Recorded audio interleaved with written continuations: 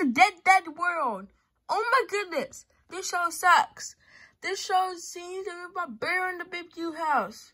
I mean, Big Blue House.